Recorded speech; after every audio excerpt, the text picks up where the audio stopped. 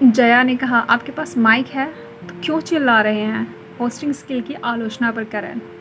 Film maker Karan Johar ने अपनी hosting skill को लेकर के मिली आलोचना का ज़िक्र करते हुए कहा है, एक बार जया आंटी, जया बच्चन ने कहा था, आपके पास माइक है तो आप चिल्ला क्यों रहे हैं?